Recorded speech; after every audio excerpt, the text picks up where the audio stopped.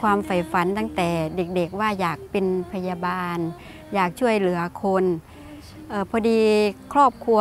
ไม่มีใครเป็นครูค่ะ คุณพ่อคุณแม่เป็นครู พ่อก็เลยบอกว่าเป็นครูให้หน่อยสักคนหนึ่งก็เลยไปเรียนคุณครูค่ะ ที่วิเลยครูอุบลราชธานี วันที่เขาประกาศผลมาว่าสอบบรรจุครูได้ ก็ดีใจค่ะ ไปบรรจุครั้งแรกอยู่ที่อำเภอขุนหารค่ะ จังหวัดศรีสะเกดอยู่ได้ประมาณ 2 ปีค่ะ ก็ย้ายมาอยู่ที่โรงเรียนเมืองคงคงคาวิทยา เป็นเวลา 38 ปีค่ะ เมื่อได้มาสอนที่โรงเรียนเมืองคงประทับใจค่ะ ดีใจ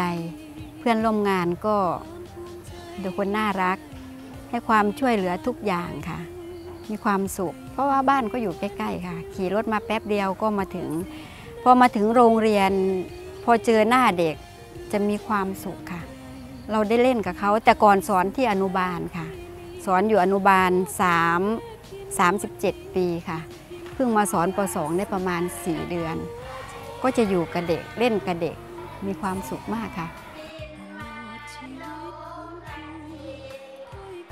ท่านเป็นคนที่มีความเสียสละ เป็นคนที่รักน้องรักเพื่อน รักโรงเรียน รักครอบครัว คุณครูท่านเป็นคนที่น่ารักใจดีนะครับ เป็นเสมือนแม่คนที่สองของเราที่คอยเออเลี้ยงดูอบรมบ่มเพาะทุกอย่าง ทั้งเรื่องการเรียนมารยาททุกอย่างอยู่ที่คุณครูคนนี้หมดเลย เป็นคนดูแลอบรมสั่งสอนผมจนทำให้ปัจจุบันนี้ผมได้ก้าวขึ้นมาเป็นครู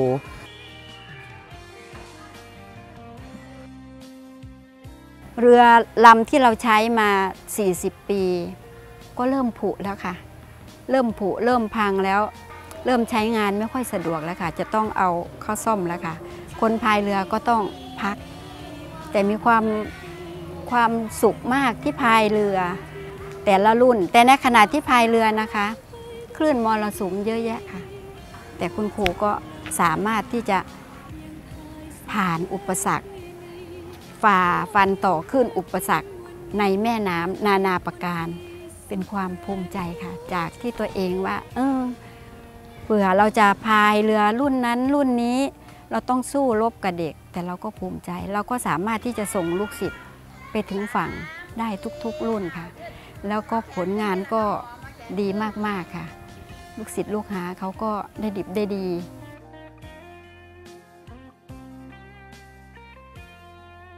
ในฐานะที่ผมเป็นลูกศิษย์คนหนึ่งนะครับ ผมมีความภูมิใจนะครับและต้องกราบขอบพระคุณคุณครูนะครับ สวรักษ์ที่ได้อบรมสั่งสอนลูกศิษย์คนนี้นะครับ ตั้งแต่ตั้งแต่วัยเยาว์นะครับ จนเติบใหญ่มาถึงถึงทุกวันนี้นะครับ ผมก็รู้สึกใจหายครับที่เหมือนคุณครูคนแรกของผม เปรียบเสมือนแม่คนที่สองที่กำลังจะเกษียณไป ลูกคนนี้ก็เหมือนขาดกำลัง ขาดกำลังใจในการทำงาน แต่ก็จะยึดมั่นสืบสารปณิธานของท่านต่อไป เพื่อให้ท่านมีความสุขครับเสียใจและคิดถึงคุณครูไม่อยากให้ครูเกษียณ เพราะว่าอยากให้แกอยู่กับนักเรียนไปตลอดค่ะ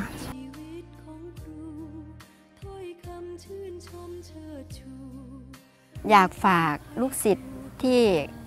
จะมาเป็นครูในอนาคต หรือว่าน้องๆที่ยังไม่ได้เกษียณนะคะ จงภูมิใจค่ะ ในอาชีพครู จงภูมิใจที่เราได้พายเรือแต่ละรุ่น แล้วเขาไปสำเร็จเราก็มีความสุข เด็กเขาเก่ง เราก็มีความสุข แอบยิ้มอยู่ในใจว่าเออนี่คือผลงานของเรา เด็กเขาไปสร้างชื่อเสียงอย่างนี้ เราก็แอบชื่นชมเขาค่ะ ในผลงานที่เราได้ทำแล้วก็อยากฝากน้องๆว่า จงพายต่อไป ให้ถึงฝั่งเหมือนพี่ อย่าท้ออย่าถอย จงสู้ ไม่ว่าจะอุปสรรคอะไรจะเกิดขึ้นเราต้องสู้ เพื่อเรือลำน้อยๆที่จะถึงฝั่ง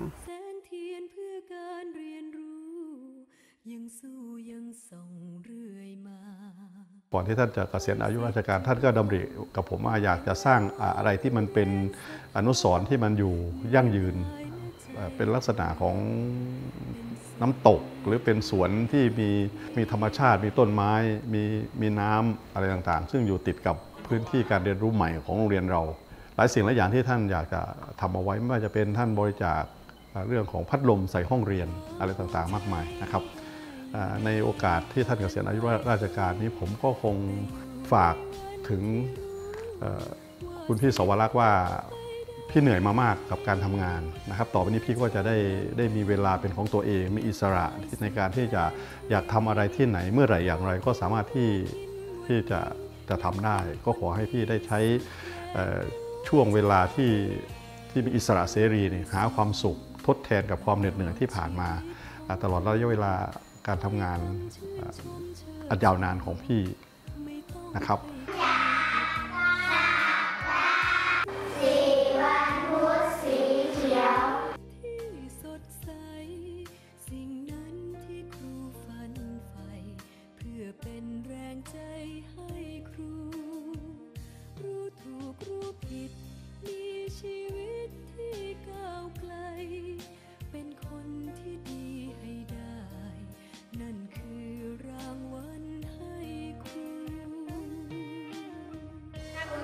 รูเกษียณแล้วคุณครูก็จะแวะมาหาพวกหนูบ่อยๆให้ตั้งใจเรียนนะคะครับ อ่าเป็นเด็กดีของคุณพ่อคุณแม่นะคะเชื่อฟังคุณครูนะคะครับ ครูพงศักดิ์จะสอนต่อก็ต้องตั้งใจเรียน โอเคโอเคค่ะเก่งมากเลยผมรักคุณครูรักคุณครูที่สุดในโลได้กยินเลยค่ะ